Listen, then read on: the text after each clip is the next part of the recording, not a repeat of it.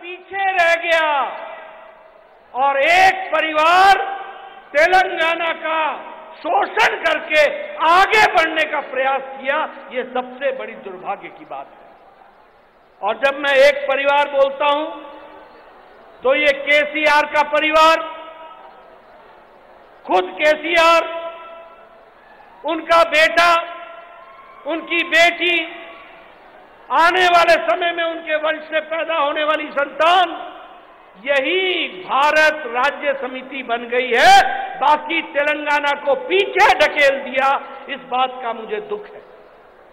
मुझे इस बात का भी दुख है कि तेलंगाना के हुनर को, तेलंगाना के टैलेंट को, तेलंगाना के ऊर्जा को, तेलंगाना के सामर्थ्य को उन्होंने नकारते हुए अपने परिवार को बढ़ाने का काम किया, यह हम सब लोग जानते हैं। सिकंदराबाद के रेलवे स्टेशन के रीडेवलपमेंट के लिए 720 करोड़ रुपए दिए हैं।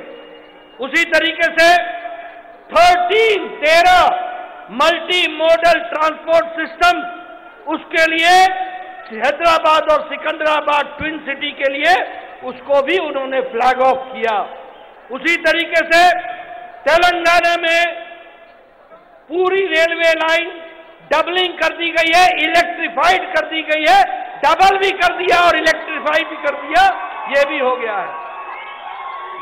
वंदे भारत भारत ट्रेन, वंदे भारत ट्रेन, ये सिकंदराबाद से तिरुपति, ये चल रही है, इसको भी सैंक्शन किया तो मोदी जी ने किया। उसी तरीके से तेलंगाना में तेलंगाना में पाँच हज़ार किलोमीटर के नेशनल हाईवे बने, फाइव थाउज़ेंड किलोमीटर। मतलब आप लद्दाख से तेलंगाना और तेलंगाना से लद्दाख, इतनी लंबी सड़क नेशनल हाईवे तेलंगाना को दी है, ये भी हमको ध्यान रखना चाहिए। किसान सम्मान निधि हर चौथे महीने दो हज़ार रुपए दे रहे हैं और उसमें भी हमारे 38 लाख पचास हज़ार तेलंगाना के किसान हैं। 38 लाख फाइव फिफ्टी थाउज़ेंड आज तेलंगाना किसान जिनको प्रधानमंत्री किसान सम्मान निधि मिल रही है। इसलिए मित्रों, गाँव गरीब, वंचित, पीड़ित, शोषित, दलित, इनको ताकत देने का काम किया है तो नरेंद्र मोदी जी ने किया, ये हमको ध्यान रखना चाहिए। और सबसे खुशी की बात है कि आंध्र प्रदेश और तेलंगाना में यूएनएसको यूनेस्को का रमप्पा मंदिर को उसका सैंक्शन मिल गया है। रमप्पा मंदिर, वह भी यूनेस्को में जुड़ गया है यह भी हमको मालूम है। उसी तरीके से Hyderabad Nagpur industrial corridor Hyderabad Warangal industrial corridor उसी तरीके से मेगा टेक्सटाइल पार्क ये सब काम तेलंगाना में आदरणीय प्रधानमंत्री मोदी जी ने करके दिया है, यह मैं आपको बताना चाहता हूँ। विकास की एक नई कहानी लिखी है। विकास पर आगे बढ़ाया है। जहाँ देखो, rail, highway, elevated road, metro, सब जगह पर विकास के काम चले हैं। ये बात जान करके हम सबको खुशी भी होती है और 9 साल सेवा, सुशासन और गरीब कल्याण का काम हुआ। है ये परिवारवाद, ये कल वहाँ कौन इकट्ठा हुआ था? RJD, Samajwadi party, TMC, Uddhav Thackeray, ये ये सब लोग मित्रों, ये सब लोग परिवार बचाने के लिए लगे हैं। परिवार और और और मोदी जी देश को आगे ले जाने के लिए लगे हैं। इस बात को हमको समझना चाहिए। ఓ టిఆర్ఎస్ నాయకులారా కళ్ళు పెట్టుకొని చూడండి. హైదరాబాద్ నుండి అచ్చంపేట డిండి వరకు పదిహేడు వందల యాభై కోట్ల రూపాయలతోటి four lane road national highway జాతీయ రోడ్డుని ఇవాళ నరేంద్ర మోడీ గారి ప్రభుత్వము ఈ పాలమూరు గడ్డ నాగర్ కర్నూలు నగార గడ్డకు అందించినటువంటి దాన్ని మీకు గుర్తు చేస్తున్నాం.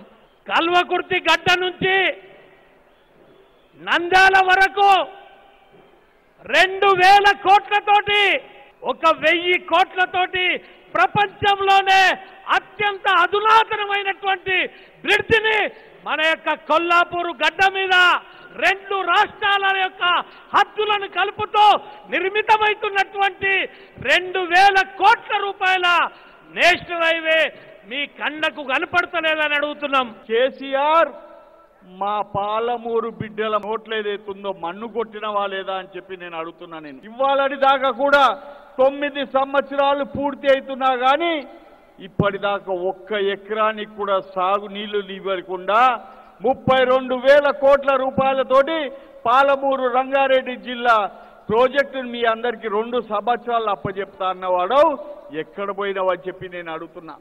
ఇప్పటిదాకా నార్లాపురం దగ్గర నార్లాపురం ఇంటేక్ దగ్గర ఇప్పటిదాకా పనులు కాలే. ఇంటేకి వెళ్ళే ప- పనులు పూర్తిగా అంది అక్కడి దాకా నీళ్ళు ఎట్లొస్తాయని చెప్పి నేను అడుగుతున్నా. అక్కడ నీ మీద తొమ్మిది వందల పది కోట్ల రూపాయలు ఎన్జిటి ఫైన్ ఏం చేసిన సంగతి మర్చిపోయినావు అని చెప్పి నేను అడుగుతున్నా.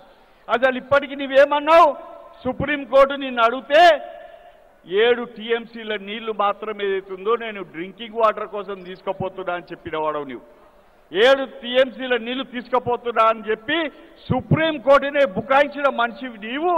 నీవు ఇవాళ పాలమూరు బిడ్డలకు ఏదైతున్నదో వాళ్ళకు సాగునీరు ఇస్తావా అని చెప్పి నేను సవాల్ చేస్తున్నా అని చెప్పి నేను అడుగుతున్నా.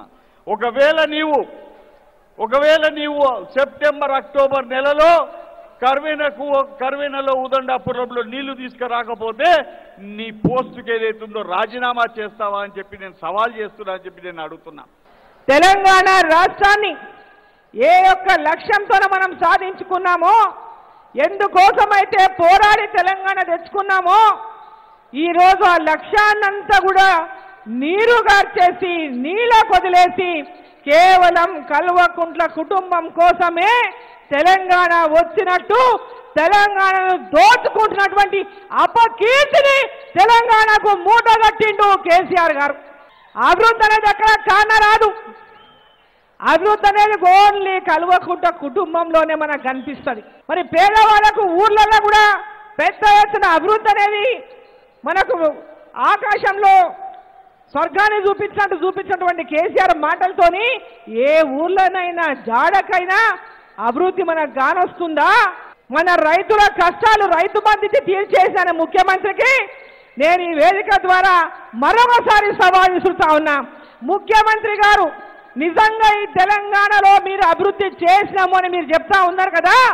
రండి మా ఎంబడి రండి పాలమూరు జిల్లాలో రండి మేము తీసుకెళ్తాం. ఏ ఊరిలో మీరు రోడ్లు వేసిండ్రో ఏ ఊర్లో రెండు బెడ్రూమ్ల ఇండ్లు కట్టిండ్రో ఎక్కడ మీరు వలస ఆపిండ్రో వచ్చి చూపియండి అని చెప్పి నేను వేదిక ద్వారా నేను డిమాండ్ చేస్తా ఉన్నా. ఉద్యోగం ఇచ్చినాకనే పాలమూరు రంగారెడ్డి కడతా మూడేళ్ళలో పూర్తి చేస్తానటువంటి మాట వాస్తవమా కాదా అని చెప్పి ఒకసారి తెలియజేస్తా ఉన్నా. మరి ఎందుకు పాలమూరు రంగారెడ్డి తొమ్మిదేళ్ళైనా పూర్తి కాలేదు? నాగర్ కర్నూలు ప్రజలు కానీ పాలమూరు ప్రజల్ని కానీ ఎందుకు ఈ ముఖ్యమంత్రి వంచిస్తా ఉన్నాడు మోసం చేస్తా అని చెప్పి నేను ప్రశ్నిస్తాను